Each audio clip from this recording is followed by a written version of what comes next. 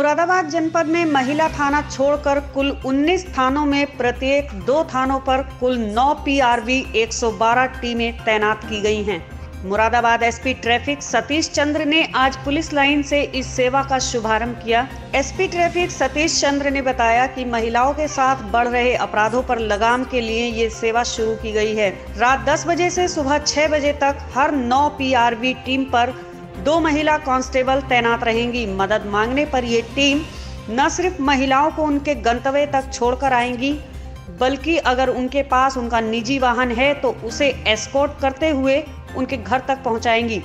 जनपद में नौ टीमें बनाई गई हैं। प्रत्येक पीआरवी में दो महिला पुलिसकर्मी भी तैनात की गई हैं। क्या उद्देश्य रहा ये हमारे डीजीपी महोदय की विशेष पहल है कि जो महिलाओं के साथ रात्रि में घटनाएँ हो जाती हैं तो उसको रोकने के लिए हम लोगों ने पीआरबी जो हमारी 112 नंबर है, उनको हम लोगों ने डिप्लॉय किया है। इसमें हम लोगों ने मुरादाबाद में महिला थाना को छोड़ के उन्नीस थाने हैं। तो हर दो थाने पे हमने एक पीआरबी डिप्लॉय की है, उसमें हम लोगों ने दो दो महिला कर्मचारी अपने बिठाए हुए हैं। ये पीआरबी रात के 10 बजे से लेकर सुबह 6 बजे तक चलेगी। और जो भी 112 नंबर पे महिला हेल्प मांगेगी तो हमारी पीआरबी उस जगह पे पहुँच के उनको गाड़ी में बिठा के घर पहुंचाएँगे। अगर वो महिलाएँ वाहन से हैं, कोई वाहन पे है अपनी स्कूटर, स्कूटी पे तो उसको स्कोट करके उनको घर तक सुरक्षित पहुंचाएँगे हम लोग।